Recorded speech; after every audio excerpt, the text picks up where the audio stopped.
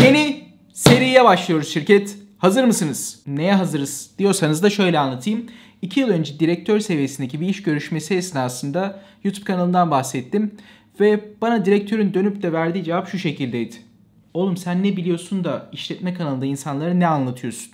İşletme okuyan öğrencilere faydalı bir şeyler yaptığımı düşünüyordum ve takdir edilmeyi bekliyordum. Her insanın tecrübesi aslında farklı bir hikaye. Doğrular ve yanlışlar farklılaşabiliyor. Bundan yola çıkarak başarılı olmuş bazı iş adamlarının videolarını sizinle beraber izlemeye karar verdim ve bu izlediğimiz videolardan birlikte yeni şeyler öğrenebiliriz diye düşündüm. Bilmiyorum konsepti anlatabildim mi? Bu seri için herhangi bir isim bulamadım. Eğer isim öneriniz varsa ya da gelecek videoda herhangi bir video izlememi istiyorsanız yorum olarak bırakın. Ha bir de tabii ki seriyi beğendiyseniz, devamını istiyorsanız beğen butonuna tıklayın. İstemiyorsanız da tam tersi butona tıklayın ki boşuna çaba sarf etmeyelim. Öyle değil mi? Neyse, şirket hazırsanız başlayalım. Jack Ma'nın kariyer yaklaşımına birlikte bir göz atalım. When you are 20 to 30 years old, you should follow a good boss, join a good company to learn how to do things properly. Bu konuya ben de kesinlikle katılıyorum ve kendi hayatımda da uygulamaya çalışıyorum. Ağaç yaşken eğilir diye bir deyim var ya. Bundan yola çıkarak erken dönemlerde iyi yöneticilerle, iyi iş arkadaşlarıyla çalışırsanız daha sonrasında insanlardan öğrendiklerinizi harmanlayarak daha iyi şeyler elde edebilirsiniz. Devam edelim. When you're 30 to 40 years old, if you want to do something yourself, just do it. You still can't afford to lose, to fail. But when you're 40 to 50, Bu konuya da katılıyorum. Bir şeyler yapmanız gerektiğini hissediyorsanız bunu 30'lu yaşlarda yapmak, ilerleyen yaşlarda yapmaktan çok daha az zarara sebep olabilir. Birçok başarı hikayesi görüyoruz. Yok işte Bill Gates şunu yapmış, Mark Zuckerberg 20'li yaşlarında şunu yapmış, 30'lu yaşlarında başka birisi şu şirketi kurmuş. Bu başarıların belki de binlerce kat fazlası insan başarısız oluyor. Eğer modern, klasik bir Türk yaşam tarzını benimsediyseniz ve İstanbul gibi bir şehirde yaşıyorsanız muhtemelen 30'lu yaşlarda evlenmiş olacaksınız. Eşiniz de çalışıyor olacak. Evinizi geçindirebilir, odaklanmak istediğiniz girişim noktasını belirleyebilirsiniz. Belli bir süre en azından büyük paralar batırmadan bu işler senkron şekilde ilerletilebilir. Ha ne zaman ki çocuklar olacak, anneniz babanız yaşlanmaya başlayacak, bakım ihtiyaçları olacak. İşte o noktada yani 40'lı yaşlarda kaybedecek şeyleriniz oldukça fazla olacak. Bu nedenle 30'lu yaşların özellikle ilk yarısı yani 30-35 dönemi bence herhangi bir girişim yapılmak isteniyorsa oldukça verimli değerlendirilebilir ve bu konuda Jack Ma ne zaman başlamış diye de merak ettim açıkçası. Hemen şuna bakacağım.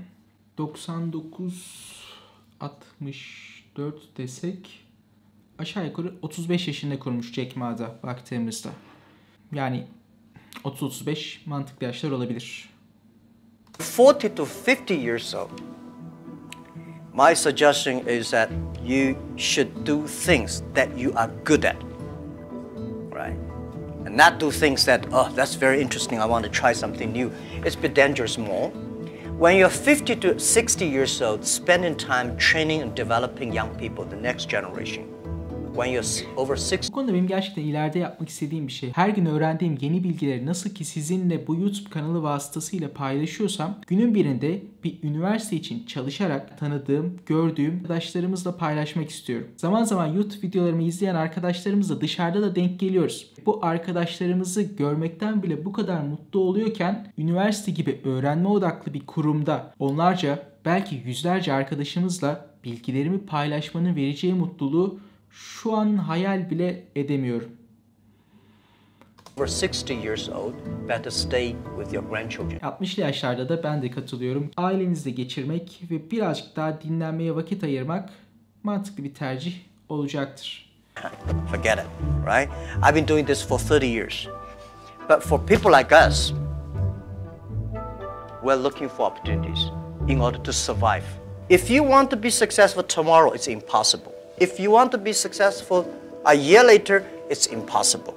But if you want to win 10 years later, you have chance. Bugünden yarına zengin olmayı ya da yarından bir sene sonrasına zengin olmayı hedeflemeyin. 10 sene sonrasını hedefleyin ve bunun için kendi yeteneklerinizi geliştirmeye bakın. Diğer taraftan dünyanın en zengin insanı Bill Gates, e, pardon artık Jeff Bezos Amazon.com'un sahibinden çok güzel bir tavsiye var bu konuyla ilgili. Onu da şöyle açacağım. Is there, is there any advice that you would like to give to people who would like to maybe go off on their own, start their own companies, things like that? I mean, you as being sort Yeah. of the king of entrepreneurs. Well, I would say, um, yeah, the, if uh, a couple of things. One, never chase the hot thing, whatever it is. That's that's like trying to catch the wave, and you'll never catch it. You need sanki şeyi tavsiye etmiyor mu? Hani bu hmm, lokma tatlıcılarını. Ya bu işte abi para varmış hadi girelim diyenlerin bir noktadan sonra elendiğini hepimiz görüyoruz. Onun için sıcak şeyi takip etmeyin diyor Jeff Bezos. Peki ne diyor? Neyi takip edelim? to position yourself and wait for the wave. And the way you do that is you pick something you're passionate about.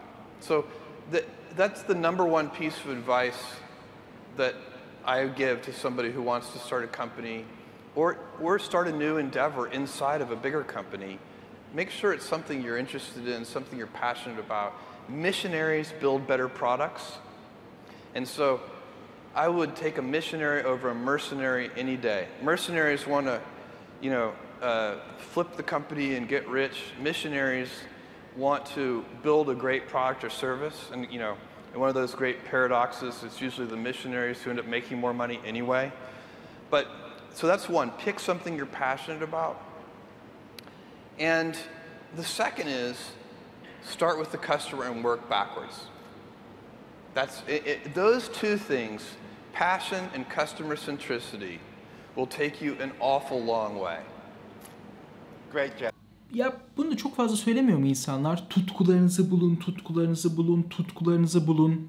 E yani nasıl bulacağız? Nerede? Şöyle defterin altında mı saklanıyor bu tutkular? Nerede bulacağız gerçekten bu tutkuları? Bu işi gerçekten seviyorum diyorsunuz belki içinizden. Ama diğer taraftan daha iyisi varsa ne olacak? Ya daha iyisini kaçırıyorsan? Ya o varsa, bu varsa? Bu duygu benim böyle bir içimi kemiriyor zaman zaman ama sonra kayboluyor gidiyor. Ama bu tutkuyu bulma konusuyla ilgili de çok güzel TED konuşmaları mevcut. Eğer TED konuşmalarını bilmiyorsanız TED.org web sitesine girerek izleyebilirsiniz. TED şirketine bir mail attım ve videolarını kullanıp kullanamayacağımı sordum.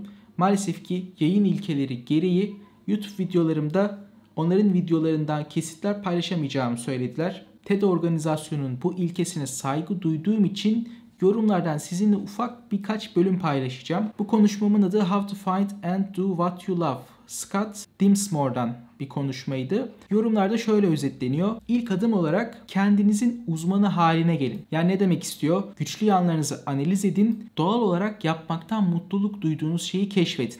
Değerlerinizi keşfedin. Sizin için başarı kelimesinin karşılığının ne olduğunu bulun. Bunu da şöyle örneklendirmiş. Zengin olmak mı? Sağlıklı olmak mı? Büyük bir aileye sahip olmak mı?